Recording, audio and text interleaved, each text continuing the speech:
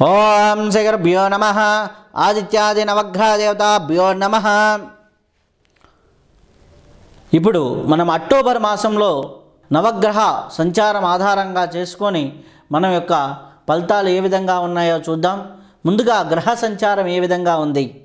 అంటే ముందుగా వృషభంలో రాహు సంచారం అలాగే కన్యలో చూసుకుంటే రవి బుధ కుజ సంచారం ఉన్నది. అలాగే తులలో తన స్వస్థానమైనటువంటి తులలో శుక్రుడు సంచారంలో ఉన్నాడు.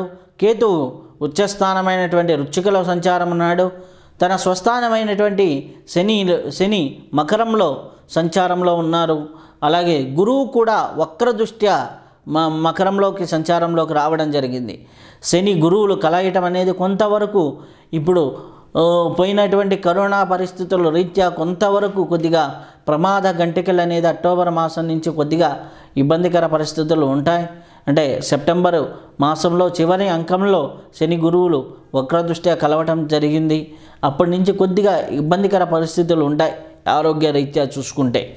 మిగిలిన అన్ని ఫలితాలు కూడా వారి వారి గ్రహ సంచారం ఆధారంగా చేసుకొని మనం తెలుసుకుందాం. ఇప్పుడు గ్రహ సంచారం ఆధారంగా చేసుకొని మనం ధనుసు రాశి వారిని చూసుకున్నట్లయితే ధనుసు రాశి వారికి అన్ని విధాలుగా బాగుందనే చెప్పవచ్చును. వీరికి దశమ ఏకాదశ స్థానాల్లో గ్రహ సంచారం అనేది చాలా వరకు అనుకూలమైనటువంటి ఫలితాలు శుభ పరిణామాలు కనిపిస్తూ ఉన్నాయి. ఆర్థికంగాను వ్యాపార పరంగాను అన్ని రంగాల వారికి కూడా చాలా వరకు శుభ పరిణామాలే ఎక్కువగా కనిపిస్తూ ఉన్నాయి.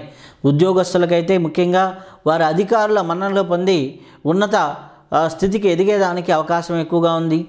అలాగే సాఫ్ట్వేర్ రంగాలు ఇట్లాంటి ప్రైవేటు రంగాల ఉద్యోగస్తులకైతే మంచి అవకాశాలు వచ్చి శాలరీలు పెరిగేదానికి అవకాశం ఎక్కువగా ఉంది. కాబట్టి ధనుసు రాశి వారికి చాలా చాలా బాగుందని చెప్పవచ్చును. అలాగే వ్యాపారం చేస్తున్న వారికి వ్యాపార విస్తరణ అనేది కొంతవరకు జరుగుతూ ఉంది.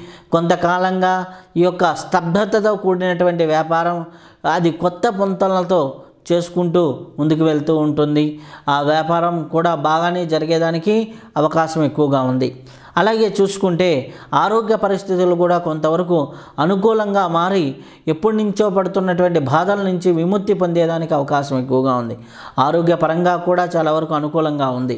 కాబట్టి వృత్తిరీత్యా వ్యాపార రీత్యా ఆర్థిక పరంగా వ్యాపార పరంగా అలాగే మీరు వ్యవసాయ పరంగా కూడా చాలా వరకు అనుకూలమైనటువంటి యోగదాయకమైనటువంటి పరిస్థితులు ధనుసు రాశి వారికి ఎక్కువగా గోచరిస్తూ ఉన్నాయి. వందకు తొంభై శాతం వరకు గోచరిస్తూ ఉన్నాయి. ఒక ఏలినాటి అనే ప్రభావం తప్ప మిగిలిన అన్నీ కూడా చాలా వరకు అనుకూలంగా ఉన్నాయి కాబట్టి మీరు దిగ్విజయంగా ముందుకు వెళ్ళవచ్చును.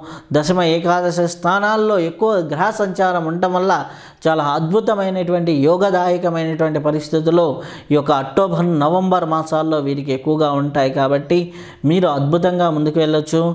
ఆ యొక్క సాయినాథుడిని నమ్ముకొని ముందుకు వెళ్ళండి. ఎందుకంటే మీకు రాశి అధిపతి గురువు కాబట్టి గురువు కూడా ద్వితీయ స్థానంలో ఉండటం ఆర్థికంగా కూడా మేలు చేసే అంశం కాబట్టి మీరు చాలా వరకు ఆ యొక్క సాయినాథుడిని కానీ దత్తాత్రేయుల వారిని కానీ ప్రార్థన చేస్తూ ఉండండి.